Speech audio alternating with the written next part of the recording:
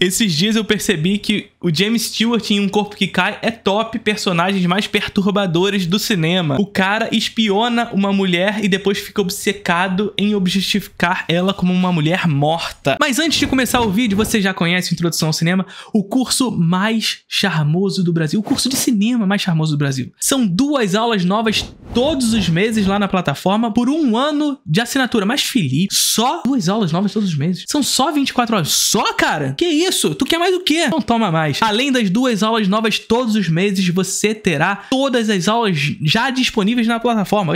Ou seja, aquelas aulas que eu já disponibilizei anteriormente vão estar tá lá. Você vai ter um ano de acesso com todas essas aulas, mais duas aulas novas todos os meses. Olha quanta aula você vai ter, cara. Olha quantas aulas você vai ter. Ah, Felipe, mas o que que você traz nessas aulas? Quais são os assuntos? Linguagem, teoria, história, crítica, política relacionada à produção cinematográfica. Já tivemos aulas sobre neorrealismo italiano, a obra de arte na era da sua reprodutibilidade técnica, contra-interpretação, enfim, cinema como espelho, cinema como olhar, enfim, tem, tem tudo lá, voyeurismo, tem tudo lá, e tu tá aí e não, não se inscreveu ainda. Tá esperando o quê? Link na descrição do vídeo. Bora pro vídeo. Perfeito. O Hitchcock, inclusive, fala que Vértigo é um filme sobre um homem que se apaixona por uma mulher morta. Forte, né?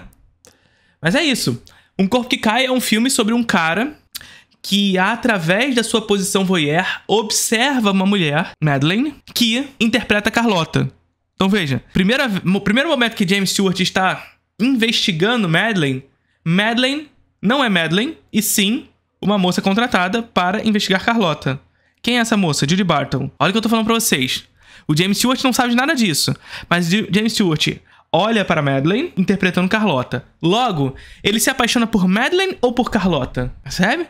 Porque ele se apaixona por uma mulher que está interpretando outra mulher. Ou melhor, que está possuído supostamente pelo espírito de Carlota. Logo, já no primeiro momento, James Stewart é um homem apaixonado por um espírito, mesmo que o filme não seja sobre, sobre ser sobrenatural ou não. Num segundo momento, James Stewart se aproxima de Madeleine, se retirando de sua posição voyeur e, portanto, da segurança do olhar que ele mantém para ela. Afinal, antes ele olhava sem ser visto e passa a se aproximar dela. Nós, enquanto espectadores, descobrimos que, na verdade, Madeleine era uma figura exibicionista, porque estava posta ao olhar dele. Ela sabia que estava sendo olhada, mas ele não. E Judy Barton se revela finalmente como Madeleine, que na verdade era Carlota. Então, James Stewart deseja que Madeleine, deseja que Judy Barton seja Madeleine, mas Madeleine nunca foi Madeleine, era Carlota. E onde eu quero chegar com isso tudo? Eu quero chegar aqui. O olhar no filme, o olhar em Vértigo, é um olhar masculino e, sobretudo,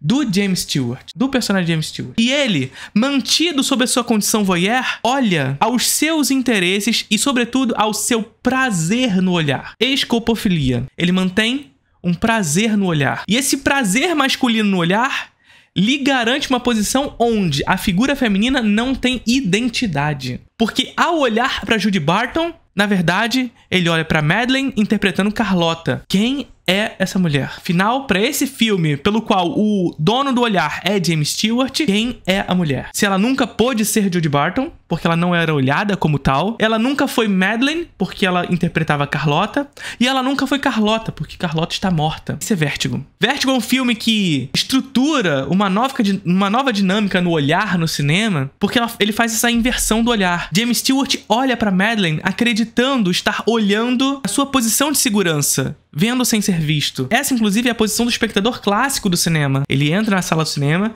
e, mantido sob a segurança do seu olhar numa sala escura, ele olha para a tela sem ser visto de volta. Entretanto, o cinema moderno faz uma inversão desse olhar, que é o que o Hitchcock trabalha nesse filme, que é quase que uma espécie de filme teoria dele, o Vértigo, onde ele olha para Madeleine e Madeleine se apresenta como uma figura exibicionista, ou seja, ela é sonsa, porque ela sabe que está sendo olhada, mas ela se apresenta como não sendo olhada. Esse é o cinema clássico né? Ou seja, o filme é feito para alguém ver. Esse é o óbvio, né? O filme é feito para alguém ver. Mas o cinema clássico se apresenta como não estivesse sendo visto, nessa segurança do olhar pelo qual o espectador se mantém. Entretanto, todavia, quando Madeleine supostamente supostamente se acidenta, James Stewart precisa se aproximar de Madeline, precisa chegar perto de Madeline. E quando ele chega perto, ele se retira da sua posição de segurança de olhar, do posição voyeur, e se aproxima dela. E a se aproximar, o perigo. Ele não mais está mantido sob sua posição de segurança, agora ele está sob a condição do perigo dessa aproximação. Olha só que lindo. E quando ele se aproxima dela, esse é o cinema moderno, esse é o espectador moderno, que não mais vê sem ser visto. O cinema e o filme faz questão de aparecer para o espectador. Essa é inversão do olhar do Hitchcock voyeurística, que inclusive tem aula na introdução ao cinema só sobre esse filme. Uma aulinha só sobre Vértigo lá na introdução ao cinema. Faça parte da introdução ao cinema. Curtiram o vídeo?